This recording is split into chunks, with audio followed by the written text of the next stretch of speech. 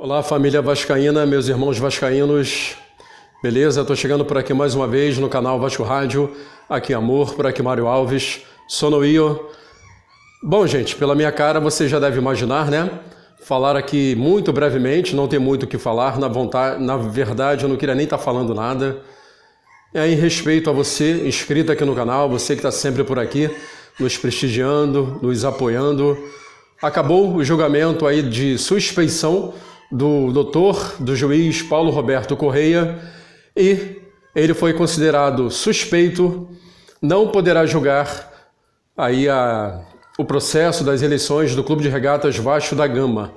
Placar 3 a 0. Inclusive, o primeiro a votar foi o relator Camilo Rulieri, que foi contra a liberação do doutor, do juiz Paulo Roberto Correia, e os demais foram, né, votaram com o relator 3 a 0, portanto, Paulo Roberto Correia, o juiz, doutor Paulo Roberto Correia, não poderá julgar o processo das eleições dos, né, do, do, Vasco da Gama, processo dos templários. Ainda cabe recurso, Mário? Sim, ainda cabe recurso.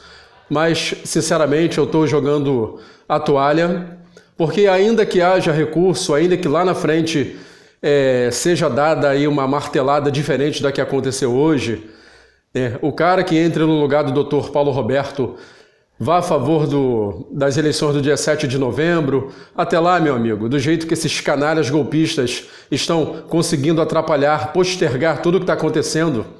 Até lá, Jorge Salgado, esse infeliz, esse, esse canalha bandido, já terá cumprido os três anos, se bobear vai ser, vai ser até reeleito. Reeleito não porque ele não foi eleito, né? Foi eleito ali, na enquete contra o Júlio Brandt. Contra não, né? Um mancomunado com o outro. Então, a nossa última esperança, fora da questão da AGE, que também não sei se a gente deve depositar alguma esperança nisso daí, fora essa questão da AGE, na justiça eu estou falando, né? É, a nossa última esperança seria o doutor Paulo Roberto poder julgar, ele que vinha se demonstrando, vinha não, vem, né?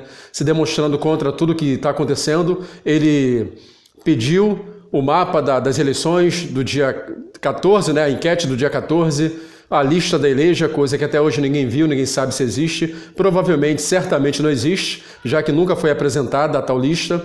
Ele tentou impedir, na verdade, ele impediu a posse do Jorge Cagado, só que em plantão uma juíza foi lá e acabou dando ordem de posse para o Salgado. Né? Tanto é que os canalhas, mesmo com o doutor Paulo Roberto tendo impedido a posse do Salgado, tendo embarreirado, estavam lá na porta esperando só o, o parecer, né?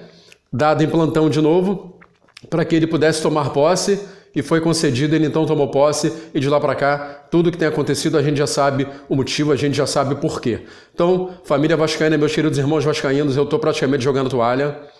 Com essa daí, a gente já até esperava, né? Porque parece que tá. Tem muita gente séria, eu sempre digo isso, tem muita gente séria, mas tem muito vagabundo também, infelizmente, né? Inclusive, inclusive na justiça, né? Injustiça, brincadeira, né, gente? Então, agora vamos esperar para ver quem vai entrar no lugar do Dr. Paulo Roberto Correia certamente entrará alguém de confiança, né? Eu só posso falar assim, porque se eles não queriam que o Paulo Roberto Correia jogasse essa parada, é porque não confiavam nele para se continuarem se mantendo no poder tomado de assalto do Clube de Regatas Vasco da Gama. Então agora certamente vai entrar alguém, independentemente de quem entre, gente. Eu não confio mais. Para mim, justiça no Brasil nunca existiu, no Rio de Janeiro menos ainda, menos ainda. Eu ainda, a gente precisa ter um pouquinho de esperança. Eu vinha tentando manter um pouquinho de esperança, mas acabo de jogar minha toalha. Ainda que essa parada seja revertida lá na frente, certamente Jorge Salgado e toda a sua quadrilha de vagabundos já terá cumprido os três anos de mandato. Então, para o Levinciano entrar, provavelmente só nas próximas eleições, se conseguir entrar, se é que ele vai ter cabeça para concorrer. Eu, se fosse ele, não entraria para essa merda, para essa política suja, nojenta, dentro do Clube de Regatas Vasco da Gama que por um lado tem a história mais linda do futebol de todos os tempos, e por outro lado é o clube mais sujo, mais podre quando o assunto é eleição. Infelizmente, é o triste retrato do Clube de Regatas Vasco da Gama quando falamos de política dentro do clube. É nojento, é obscuro, é uma coisa podre. Jorge Salgado é podre, Múcia é podre, Osório podre, Duque Estrada podre, Vitor Roma podre, todos filhos de uma puta.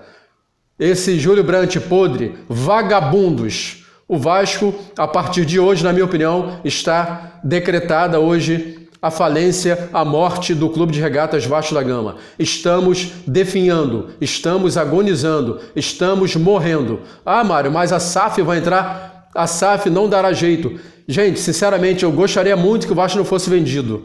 Eu quero que não seja vendido.